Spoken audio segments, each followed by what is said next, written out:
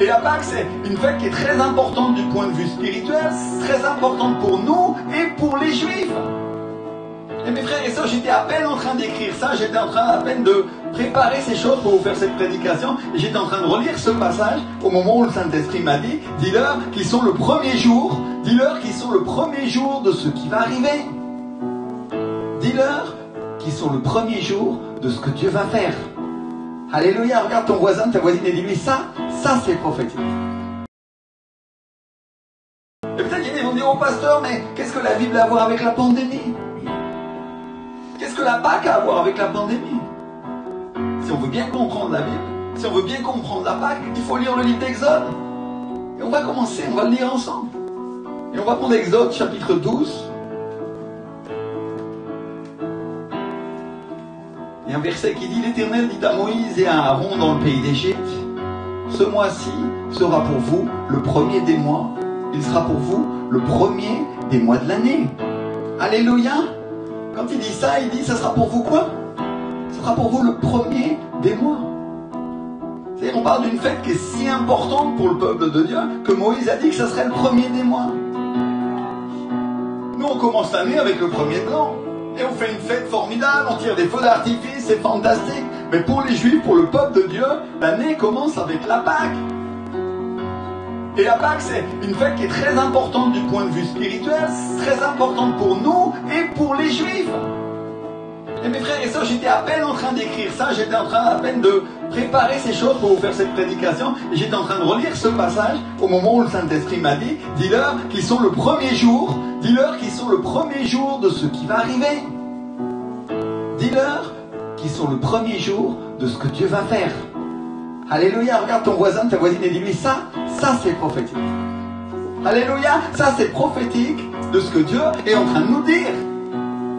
Parce que mes frères et sœurs, si Dieu nous dit que nous sommes le premier jour, on l'est. Pourquoi? Parce que de toujours, de tous les temps, Dieu a marqué les temps, il a marqué les moments pour qu'on sache où on est.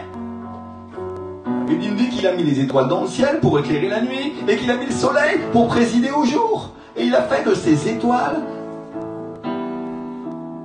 des signes pour marquer les époques et pour nous indiquer le temps.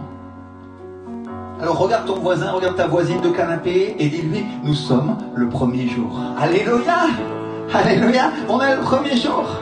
On est le premier jour de ce qui va venir. On est le premier jour de ce qui va arriver. On est le premier jour de ce que Dieu va faire. Alléluia Et frères et il y a une chose qu'on doit savoir, c'est que quand Dieu commence à dire à son peuple qu'il va fêter la Pâque, le lendemain, le pain n'a pas encore le temps de lever, que le lendemain, ils sont libres. Le lendemain, Pharaon dit, sortez du milieu de mon peuple et allez servir Dieu. Alléluia Alors regarde ton voisin, ta voisine et dis-lui, la Pâque, c'est le premier jour de l'année. Alléluia C'est le premier jour de ce qui va venir, c'est le premier jour de ce que Dieu va faire. Je vois que tu prophétises sur ton canapé, on va faire un, un, acte prophétique, tu vas faire un pas en avant comme ça, et tu vas décréter la Pâque, la Pâque de 2020.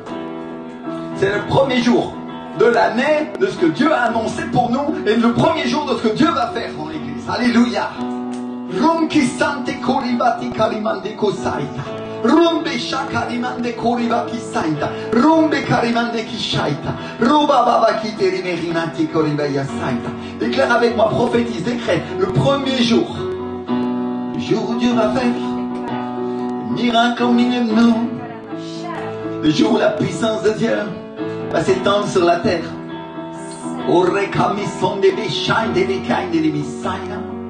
Oh, juste lève tes mains un instant, ferme tes yeux et déclare. Le jour de l'éternel est proche de venir. Oh, cher Saint-Esprit, oh, qui ne se préparait Ouvre tes yeux et regarde la moisson qui va venir. Les ils sont à l'heure. Ils sont prêts à moissonner.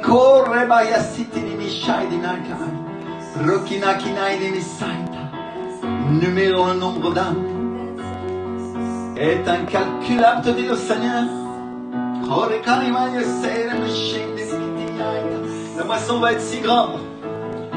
La moisson va être si grande que tu ne pourras pas toute la ramasser, te dit le Seigneur.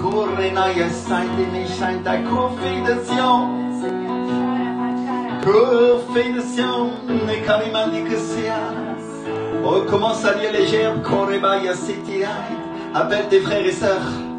Ne ménage pas ta peine, te dit le Seigneur. Korenaya Sena.